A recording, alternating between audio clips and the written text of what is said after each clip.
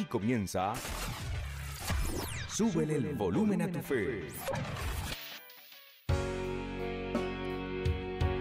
Hermanas y hermanos, bendecida tarde para todos, mucha fe, mucho optimismo, mucho ánimo. Si siente que está pasando momentos difíciles, de angustia, que cree que aparentemente todo está perdido, le quiero comentar lo siguiente, que no es así. Hay que tener absoluta fe en Cristo Jesús. Hay que tener absoluta fe en el Santísimo Sacramento del altar, que es Jesucristo vivo y presente en la Eucaristía. En Él debemos colocar cada una de las situaciones que por muy difíciles que nos parezcan, y de eso se trata justamente cuando la oscuridad a veces nos quiere arrinconar, y vamos a llevarlo así un poco como al, boxeo, eh, que dicen que un boxeador arrincona al otro. A veces la oscuridad nos arrincona, nos vemos como perdidos, perdimos aparentemente la pelea y si no tenemos fe, al menos como la de un granito de mostaza, pues vamos a perder absolutamente todo. Así que mucha fe, mucho optimismo y en este momento que pasamos, momento de un poco de confusión, de angustia con lo de esta pandemia, pues les quiero decir también que debemos colocar en las manos de Cristo Jesús eh, cada uno de nuestros hermanos que en este momento están en los hospitales, en las clínicas, en los dispensarios, en las medicaturas, en los CDI, también quienes en este momento están en sus casas de reposo por esto del COVID. Por esta pandemia donde vuelvo a aclarar por 91.547.815 veces que absolutamente Dios no tiene nada que ver en ella. Algo que nosotros mismos, el hombre, somos los responsables de esto que se ha creado a nivel mundial. A veces las ansias de poder, las ansias de querernos las tirar, a veces de más que Dios, de querer ser más que Dios, ha llevado al hombre a querer hacer las cosas más malas, sin importar perjudicar al prójimo o a los demás. Pero tenemos a un Dios que es bueno, misericordioso, noble, que nos mira con compasión y que en esta situación Él tomará la decisión que Él mejor crea conveniente. Final, Él es nuestro creador. Él fue el que nos creó y Él es el que tiene la potestad y el derecho absoluto sobre nuestra vida.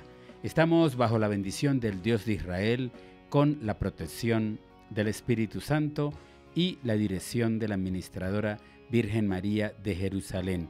Todo lo que hago con la inspiración del Santísimo Sacramento del altar, que por cierto este año, este julio, Venezuela cumple 121 años de ser consagrada al Santísimo Sacramento del altar, a Jesucristo vivo y presente en la Eucaristía.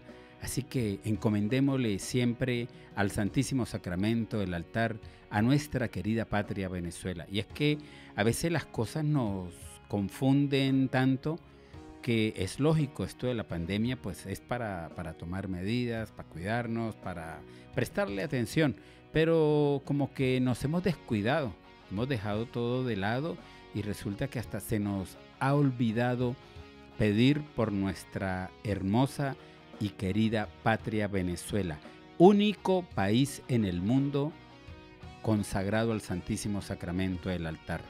Y sea de donde usted sea, si se siente venezolano y ama esta hermosa patria que se llama Venezuela, pues siéntala como tal y sienta que usted también le pertenece al Santísimo Sacramento del altar. Hay una canción hermosa que dice de qué color es la piel de Dios y para Dios no le importa los colores, no le importa si somos gordos, flacos, bonitos, feos, en fin, bueno, no hay nadie feo porque al decir que hay alguien feo estamos eh, eh, dando mal testimonio de que lo creado por Dios pues no fue bien hecho. Así que nadie se tiene tampoco que nunca considerar feo ni nada por el estilo, sino al contrario, sentirse bien, agradable, bonito, bonito para sí mismo y bonito para Dios. Eso es lo más importante. No tenemos, en el caso de la mujer, no tiene que verse bonita para un hombre específicamente o un hombre específicamente para una mujer.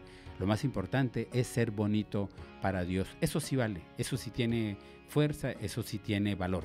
Por cierto, este 31 también tengo que recordar a mis formadores espirituales, Monseñor Raúl Méndez Moncada y el siervo Don Lucio, a quien les pedimos también y oramos que desde el cielo, que ellos están allá, nos bendigan, nos cuiden, nos ayuden y también que, que, en esta situación de esta pandemia pues nos protejan, nos cuiden y nos bendigan y nos mantengan vivos en la fe.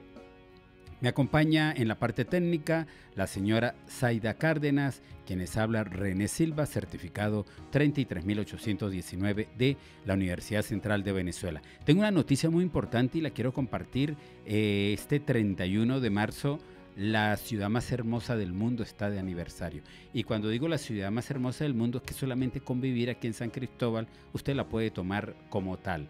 Y quiero que disfrutemos un tema le pidamos al Santísimo Sacramento del altar que bendiga a nuestra hermosa ciudad de San Cristóbal. Y quiero que disfrutemos un tema original del maestro Chucho Corrales, quien también, que en paz descanse, nos dejó esta hermosa canción y quiero que usted también se la disfrute, la comparta y que en el momento que la escuchemos le pida también al Santísimo Sacramento del altar que bendiga a nuestra querida San Cristóbal, que este 31 de marzo arriba a un aniversario más. Fue fundada el 31 de marzo de 1561 y lo celebramos con esta hermosa canción, Tierra Tachirense a la mejor ciudad, San Cristóbal.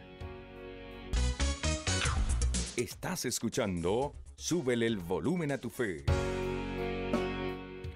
Hermosa canción del maestro Chucho Corrales a nuestra San Cristóbal, esta ciudad hermosa fundada el 31 de marzo de 1561 y a la cual le pedimos al Santísimo Sacramento del altar, al Sagrado Corazón de Jesús, a Nuestra Señora de la Consolación, a Nuestra Señora de Jerusalén, que la bendigan, que la cuiden y que nos ayude a ser cada día, cada día una ciudad mejor, una ciudad de gente de bien, una ciudad con valores, de esos valores que se han perdido, una ciudad que recupere la cordialidad que le caracterizó durante muchos, pero muchos años y que también lamentablemente lo hemos dejado pasar de lado, como si nada.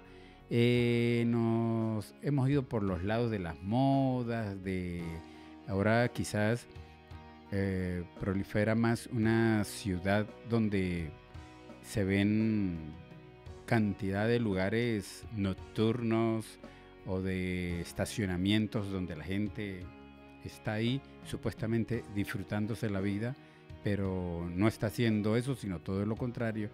Y a San Cristóbal la hemos dejado de lado, perdiendo lo más importante que nos caracteriza y nos caracterizaba, los valores, los valores que nunca se deben perder. Y también la cordialidad, esa cordialidad que durante mucho tiempo eh, nos caracterizó.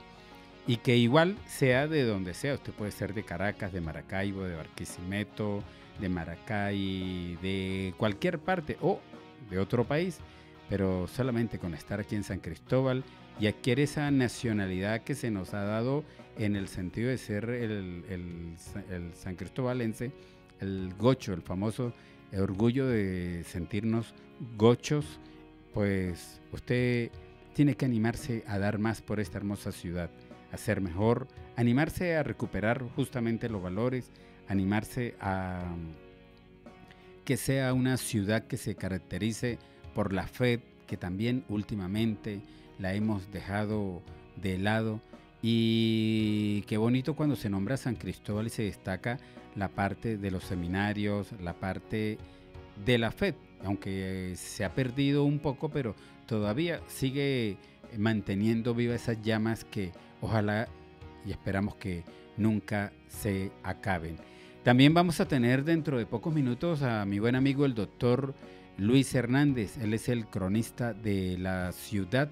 Hoy, hoy nos va a estar acompañando con la segunda parte de el segundo obispo de la diócesis de San Cristóbal, de Monseñor Arias Blanco. Él nos va a dar detalles, todos esos conocimientos de historia que él eh, posee y que cada miércoles nos los da a conocer aquí a través de Radio Natividad 101.7 FM, la emisora católica del Táchira. Luego más adelante también les voy a comentar una anécdota muy importante que justamente la estaba pensando esta mañana referente a Monseñor Raúl Méndez Moncada y la quería compartir. A veces nosotros en la vida vivimos solamente como que destacando, viéndole los errores a las personas, en qué se equivoca, solamente en qué se equivoca, uy, se equivocó, se equivocó, pero nunca destacamos qué bien hace este trabajo, qué bien lo que hace, sino a veces, eh, eh, y así pasa hasta con nuestra fe, y así pasa con nuestra iglesia, vivimos solamente buscándole a la iglesia son los, los lunares, es que, es que hay, es que, es que no sé qué más. Pero resulta que nunca destacamos que tenemos una hermosa iglesia, que tenemos buenos sacerdotes y presto siempre lo que digo del padre Juan Carlos, de aquí de la iglesia eh, de, no, de aquí de Barrancas, de San Miguel Arcángel, ajá, y donde él dice, los sacerdotes buenos somos más, y en realidad eh, eso sí es la absoluta realidad. Los sacerdotes buenos son más. Y a veces nosotros no destacamos esa parte, de decir, tenemos una hermosa iglesia, tenemos buenos sacerdotes. Y a veces por una sola oveja descarriada, entonces nosotros la agarramos con nuestra pobre iglesia y la maltratamos y le damos piña y así sucesivamente. Y no solamente en el ámbito del sacerdocio, para prestar estas palabras del padre Juan Carlos, eh, sino también en todos los reglones. Eh, los laicos buenos son más, los laicos comprometidos son más, los trabajadores buenos son más, porque por allá en una empresa hay un trabajador perezoso, bueno, pero por uno no se puede generalizar. Y eso es lo que voy, que a veces eh, tomamos como punto de referencia cualquier cosita y nosotros mismos siendo de iglesia, cuando ocurre algo, somos los primeros que nos encargamos. Hay que pasar esta noticia por WhatsApp, esto no sé qué más, y maltratamos, herimos a nuestra propia iglesia. La verdadera iglesia creada por Cristo Jesús. Que hay hermanos separados, que otras cuestiones, también eso es respetable. Tampoco no vamos a caer en el plano de, comenzar a señalar al, prójimo, pero eh, todo se resume en algo muy importante, que siempre lo he mantenido también, que la mejor religión es la de amar a Dios por sobre todas las cosas y amar al prójimo como a nosotros mismos. Y todo lo hacemos desde un punto base que se llama nuestra iglesia católica. Así que usted tiene que animarse y tiene que comenzar a aumentar su fe, tiene que comenzar a amar más a sus sacerdotes, a orar por sus sacerdotes, a orar por nuestro obispo, a orar por nuestras religiosas, por nuestros seminaristas, por los laicos comprometidos, en fin, por esta hermosa iglesia católica. Que hoy, un tiempo también con el profesor, mi buen amigo, el doctor Luis Hernández, Vamos a hacer una historia completa, hermosa, de lo que se refiere eh, a la Iglesia Católica. Ya hemos hablado en anteriores ocasiones de Monseñor San Miguel, primer obispo de la diócesis de San Cristóbal, la cantidad de obras que ni nos imaginamos, cuántas cosas bonitas dejó Monseñor San Miguel. Así que ya llegó el momento de continuar con más música. Saludo para todos quienes nos ven a través de YouTube a veces los que nos ven en YouTube pues no pueden disfrutar las canciones motivado a que YouTube no permite eh, que se coloquen los temas, para que lo entiendan a veces que, que nos mandan mensajes y ese es el motivo específico. Llegó el momento para que disfrutemos esta hermosa canción que lleva por título El poderoso de Israel. Gladys Garcet y vamos a alabar, vamos en este momento, le invito para que en su casa se alegre y le cante al poderoso de Israel. Es Cristo Jesús que nos ama, que nos quiere, que nos va a bendecir. Yahvé nuestro Dios. Súbele volumen a tu fe con René Silva.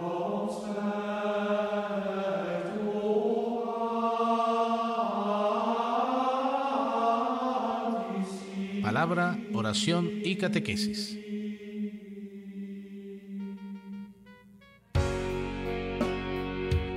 Estamos en Radio Natividad 101.7 FM, la emisora católica del Táchira. Gracias a todas y todos ustedes, muchas bendiciones, mucha fe, mucho optimismo y mucho ánimo en cualquiera de las situaciones que usted esté viviendo. Eh, lo decía anteriormente, es el mejor instante para orar, para aferrarnos a Cristo Jesús. Y con lo que está ocurriendo de esta pandemia, de este o del COVID, pues orar, orar y orar y también tomar las precauciones como el distanciamiento social, lavado frecuente de manos, uso del tapabocas correctamente y mantener eh, plenamente fe de que Cristo Jesús va a conseguir la solución definitiva a todo esto que está ocurriendo en el mundo motivado a esta pandemia. Tantos hermanos y hermanas que han fallecido en todos los rincones del mundo, tantos hermanos y hermanas que han visto fallecer a sus padres, a sus seres queridos, que han vivido momentos de angustia, de tristeza, que se han visto en esa situación del COVID y que la mejor fórmula en este momento es aferrarnos a Cristo Jesús. Él es el único que lo puede todo. Él es el único que nos sana y Él es el único que nos va a ayudar eh, en este momento más que nunca.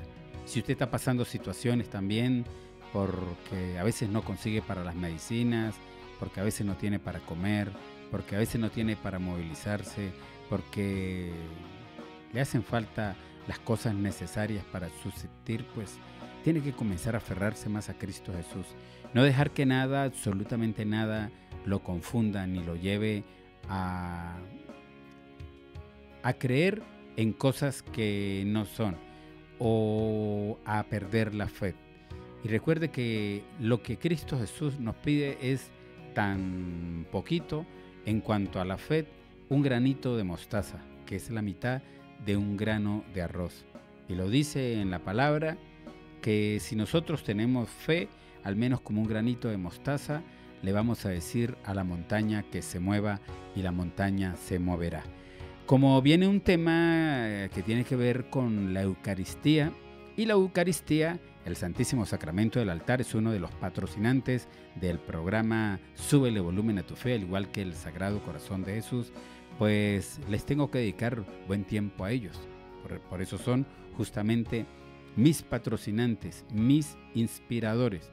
Y esta mañana estaba recordando algo de Monseñor Raúl Méndez Moncada, que fue lo que me motivó a, a mantener ese, esa amistad con él, a mantener, a ver la parte bonita de nuestra iglesia católica esa iglesia que nosotros mismos a veces la maltratamos por, por uno, por dos o por tres, pero resulta que hay un millón, hay tantos que están haciendo las cosas bien y nosotros por, por una sola persona pues cambiamos el testimonio, cambiamos la óptica de las cosas como son.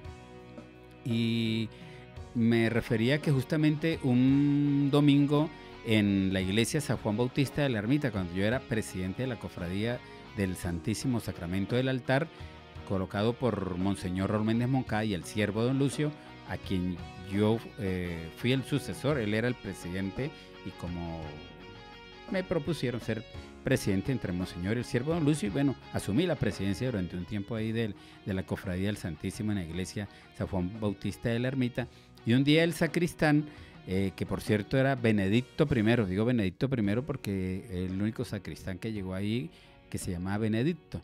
Y resulta que em, él me pidió el favor de que le asistiera, le eh, porque tenía un compromiso familiar, después de la misa de once y media, que terminaba como a las dos y media, luego venían los bautizos, que le, le guardara todo lo de la Eucaristía, todo lo de la celebración de la Eucaristía, los libros, los copones y demás.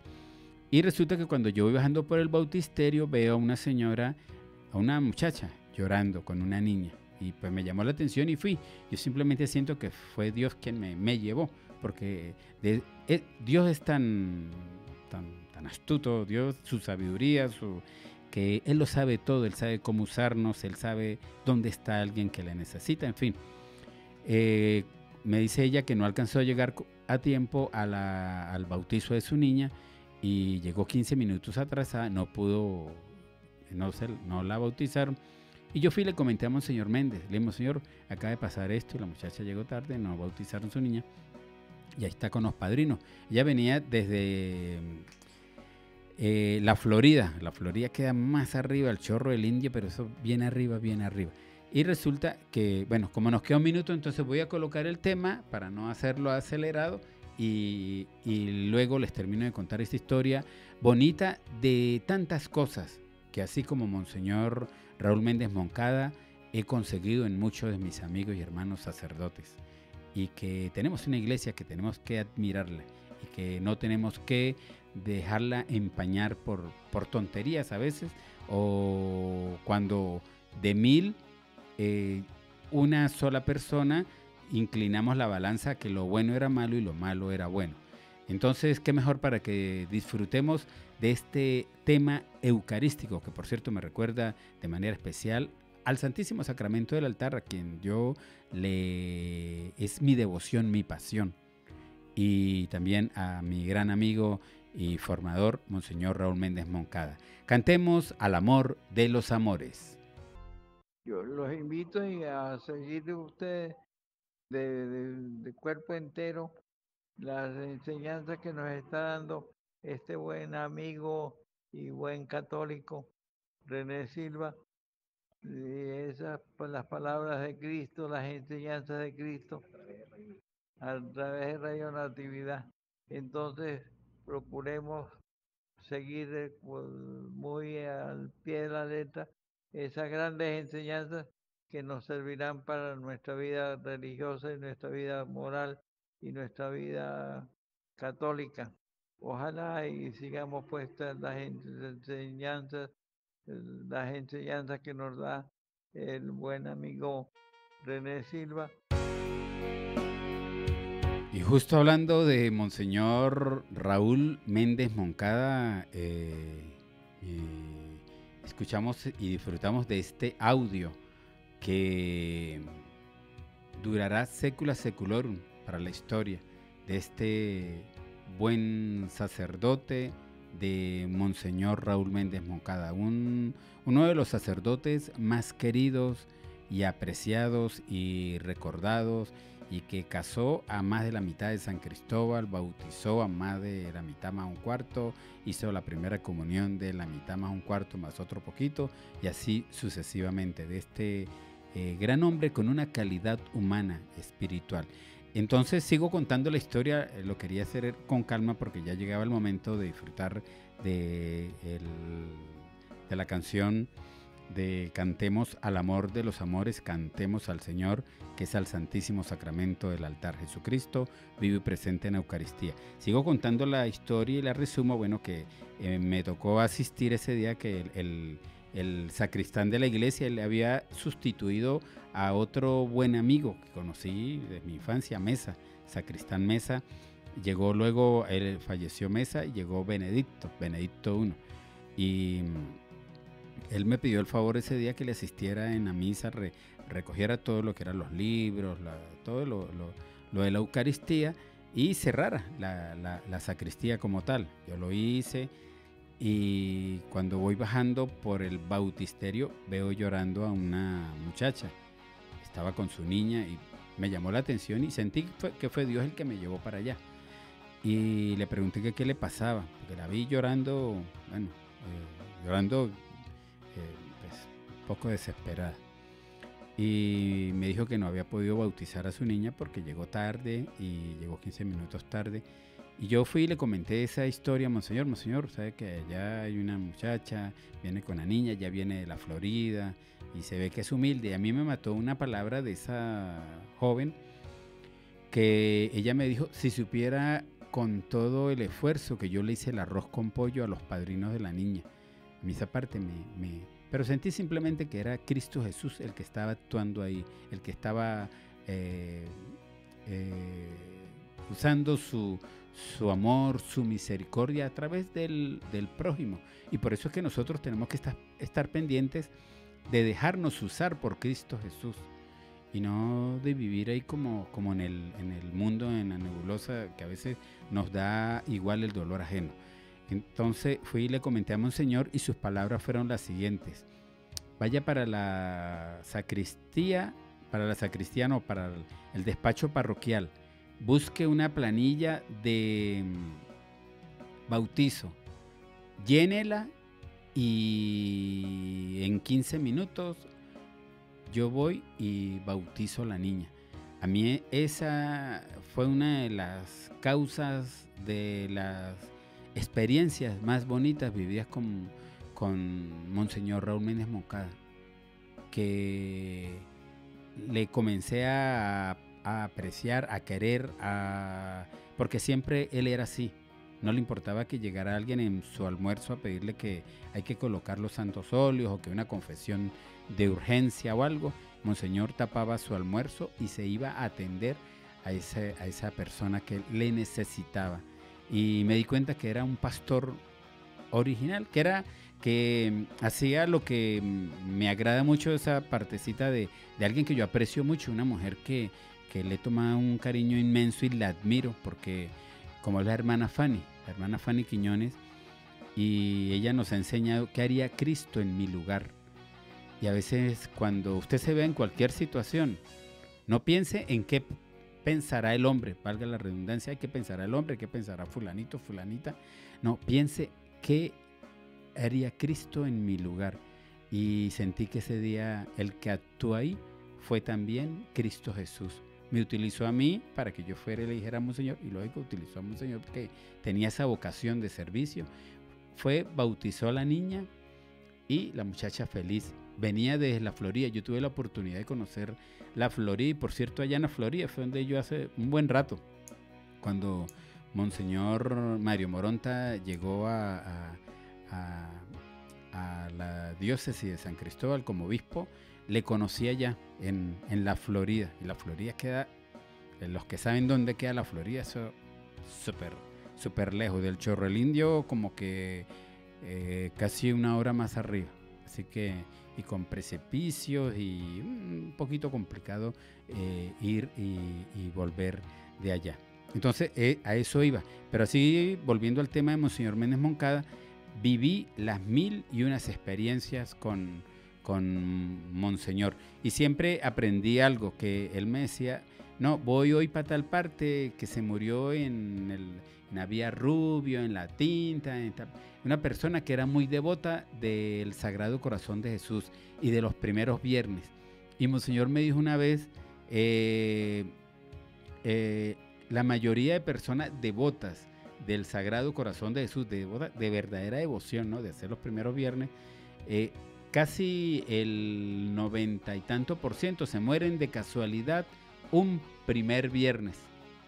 Yo sido muy devoto del Sagrado Corazón de Jesús, justamente de mi enseñanza de mis abuelos paternos. Y Monseñor Méndez Moncay y el siervo Lucio me terminaron aún más de, encaminar por ese paso, no solamente del Sagrado Corazón de Jesús, sino del Santísimo Sacramento del altar.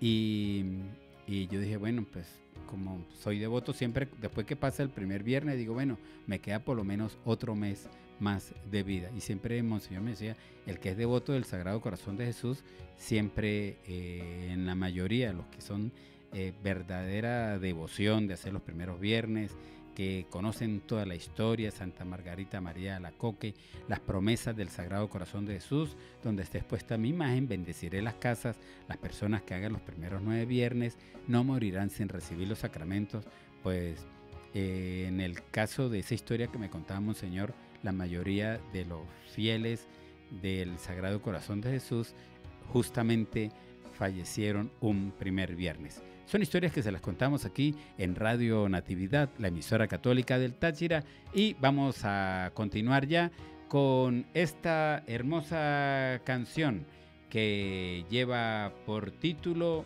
Se busca. Hace rato que no la colocábamos y eso es lo que tenemos que hacer, buscar solamente a Cristo Jesús. Él es el alfa, el omega, el principio y el fin. Súbele volumen a tu fe con René Silva, palabra, oración y catequesis. Los niños también formamos parte de Radio Natividad y súbele volumen a tu fe. Cristo te ama en espíritu y verdad. Búscalo, búscalo y verás que al fin la paz encontrarás. Búscalo, búscalo y verás que esta pandemia que azota a Venezuela y al mundo entero desaparecerá. Así que mucha fe, mucho ánimo, mucho optimismo. Y usted, hermana, hermano, donde quiera que nos esté escuchando, en su casa, su oficina, en su vehículo, en cualquier lugar, en su trabajo, tenga plenamente fe de que Dios está con cada uno de nosotros. Dios es el alfa, Dios es el omega. Él es el principio, Él es el fin, Él lo es todo. Tenía un programa, valga la redundancia, programado para hoy que tenía que ver con lo de la Semana Santa, pero eh, ya será dejarlo para la siguiente semana si Dios lo permite. Iba a resumir de que a veces nos quejamos. Eh, eh, en el caso de la Semana Santa, cuando vemos a Judas, cuando vemos a Pedro, Judas porque vendió a nuestro Señor Jesucristo, Pedro porque lo negó tres veces y otra cantidad de, historias que, se nos presentan y que salen exactamente de la Biblia. Y cuando vemos a Judas, lo primero que en la Semana Santa, uff, qué tipo tan malo. Y si llegáramos en un momento que, dijeran, allá viene a tres cuadras, la gente salía corriendo a buscar palos y piedras para... Pero resulta que no caemos en cuenta que nosotros a veces estamos haciendo el papel de Judas y hasta lo estamos superando, ¿no? Ya no igual, estamos superando a, Judas porque ya vendemos a Cristo Jesús por cuatro lochas, por cualquier cosa, porque alteramos la balanza, porque no nos no, no, o nos da igual llegar y tomar unas medicinas que las necesita un hermano enfermo o hermana para ir y venderlas, robándolas, agarrarlas o sucesivamente. Y así, eh, nos da igual que alguien necesite algo y nosotros eh, lo compramos en 20 y lo vendemos en 1000. Y resulta que, a veces no nos damos cuenta de que estamos eh, mirando a Judas como, uff, ese es el malo, el, y resulta que no nos estamos dando cuenta que nosotros con nuestra actitud, con nuestra forma, justamente hasta en esta pandemia, nos estamos aprovechando del prójimo. Y cuando vemos a Pedro, uy, ese Pedro, tanto que, tanta confianza que Dios le dio, nuestro Señor Jesucristo, tan bueno que fue con él, y fíjese cómo le pagó, lo negó tres veces, y resulta que nosotros no miramos que estamos superando también a Pedro en ese sentido. ¿Cuántas veces no negamos a, a, Cristo Jesús cuando un hermano nos pide que le ayudemos y nosotros nos hacemos como se dice lo de la vista gorda, miramos para el otro lado, no tenemos la sensibilidad humana, en fin, en, muchas cosas cuidado con esto. Viene justamente la celebración de la Semana Santa, que tenemos que eh, hacerla bajo las eh, reglas o las órdenes, la obediencia que se nos dé en nuestra iglesia. Y hay que saber también en esa parte ser obedientes. Pero quizás muchos se van a a ir más a los extremos, a siempre a criticar, a que no sé qué más, a que lo otro. Y les digo, eh, quizás es un momento para que reflexionemos cómo, eh, hasta qué grado estamos superando a Judas, vendiendo a, a Dios. Lo cambiamos ya por las hechicerías, por las brujerías, por los horóscopos. Ahí estamos vendiendo a Cristo Jesús. Y si hablamos de Pedro, pues lo estamos... No, eh, Pedro lo negó tres veces pero ¿sabe qué? Nosotros, si sacamos análisis completo, lo hemos negado más de mil. Así que no estemos tampoco mirando a Pedro y a Judas como los malos de la película, porque a veces nosotros ya vamos por peor camino que ellos. Así que a recapacitar, y justamente cuando viene la Semana Santa, a ver qué podemos hacer para cambiar nuestra actitud, nuestra forma de ser, ser mejores para Cristo Jesús, no para el hombre, ni para la mujer, ni para nadie, sino para Dios. Él es el, a Él es el que le tenemos que decir, Señor, yo me arrepiento de todos los pecados que he cometido contra ti y quiero transformarme en un verdadero o verdadera hija tuya. Así que animarnos y a subirle volumen a la fe. Esa fe que a veces la tenemos por allá, como un radiecito, eso que tienen pilas que ya están a punto de acabarse. Y decía eh, que traía un material para hoy, pero lo vamos a dejar para otro programa. Hoy el tiempo pues se nos pasó volando y bueno, la misericordia, la gracia de Dios, Dios, tenemos que dejar en todo que Dios sea el que haga su voluntad, no nosotros. Hoy Dios quiso que el programa fuese de esta manera y es el programa es de Dios inspirado por el Santísimo Sacramento del altar y el Sagrado Corazón de Jesús, bajo la bendición del Dios de Israel con la protección del Espíritu Santo y la dirección de la administradora Virgen María de Jerusalén, todo lo que hago con la inspiración del Santísimo Sacramento del altar del Sagrado Corazón de Jesús, recordando a mis grandes amigos, hermanos formadores, Monseñor Raúl Méndez Moncada y el siervo Don Lucio. Bendiciones para todos, mucho ánimo y recuerde orar, orar y orar. Esa es la mejor medicina que podemos nosotros tomarnos todos los días en este momento. Me acompañó en la parte técnica la señora Zaida Cárdenas, quien les habló, René Silva, certificado 33819. Y justamente luego vamos a escuchar un tema que tiene que ver con lo que tenemos que hacer, tener absolutamente fe. Yo tengo fe que todo cambiará. Yo tengo fe de que Dios me va a bendecir, me va a pasar sanando, me va a ayudar en cualquiera de esos problemas, dificultades, situaciones que a diario se nos presentan. Pero si tenemos fe en el Dios de Israel, en Yahvé nuestro Dios, todo va a cambiar. Y pidámosle a esa hermosa mujer, a la Virgen María de Jerusalén, que nos bendiga, que nos cuide, que nos ayude, que nos anime, que no nos deje solo en ningún momento y que nos protejan. Bendiciones para todos y gracias por estar en la sintonía de Radio Natividad, la emisora católica del Táchira. Bendiciones para todos. Desde ya nos preparamos para un próximo programa. Dios los bendiga.